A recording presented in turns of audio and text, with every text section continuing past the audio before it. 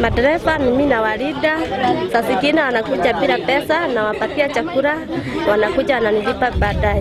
She says that uh, sometimes these drivers came comes here to eat from a kiosk, and most of the times they don't have money, so she gives the, uh, she gives them food on credit.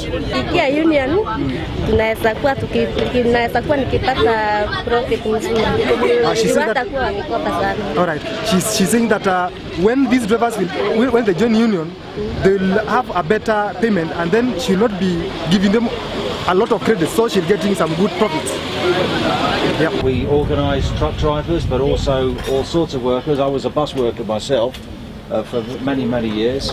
Um, we've come here as part of an ITF delegation, and we've come here to show solidarity with you guys because the international spotlight is on agility logistics here in Kenya.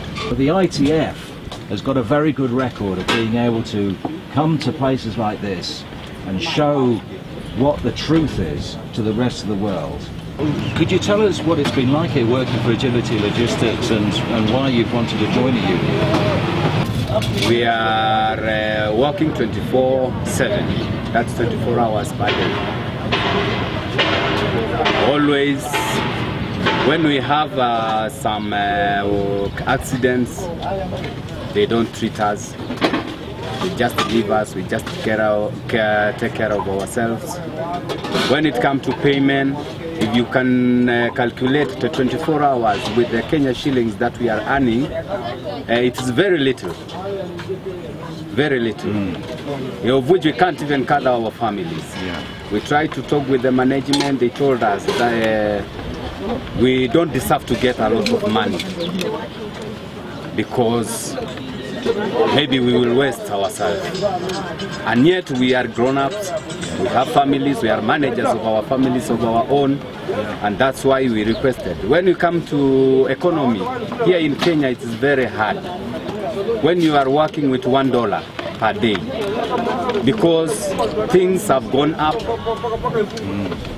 you can't even make uh, with the salary that we are working if you come to education the children that we are educating the salary that we are adding what i pay for school fees for my kid is double the salary that i get so we decided to tell them we needed to work in a very good condition and also for you to take care of us. Mm. Because when you are working in a big company like this, you need to have insurance, you need to have health. And uh, also you need to be working in a very good condition that you will be happy. You all believe that the, u- the company is trying to reduce the number of people that's in the union. Eliminating people. Yes. Yeah. By, Because by throwing out People. some Yeah. members Yeah. so that the number goes down. Yeah. So that we cannot reach the number that they needed. When they took the list of the people that have joined union, they start intimidation. They intimidate us. Some of us were sacked. They have been thrown out. So there have been some people sacked. Yeah. In fact, even our leader here, Steve, was one uh, is one of the victims that was thrown out. Look, I've heard about intimidation, you told me today, but um, the company said to us that the union's been intimidating you to join the union. Yo. So are you all union members? Yes. Yes, you all join the union freely? Yes, Union is our voice. Solidarity.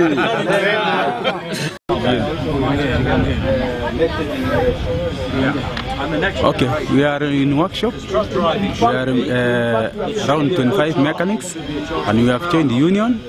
And our problem is uh, poor pay. Secondly, we have uh, we have given a contract after three months. We given another three months, another one six months. So that's why you have a problem with that. Thirdly, we don't have uh, weekend allowance. A highly skilled. Uh, thirdly, fourth, uh, transport allowance we don't have. House allowance. Overalls, safety boots, breakdown allowance. Also, we want to. Uh, it's lasting overtime. That is why we join union so that we can be achieved for that. When I was being, when I was, I got letter of being sacked. There's a message I left with my HR manager. The only way out of this problem is to give justice to all uh, employees of Agile Logistics, and the problems will end. Up to now, they have not gotten that justice, and still I'm calling upon the management of Agile Logistics. Please give justice to all employees of Agility Kenya. Thank you.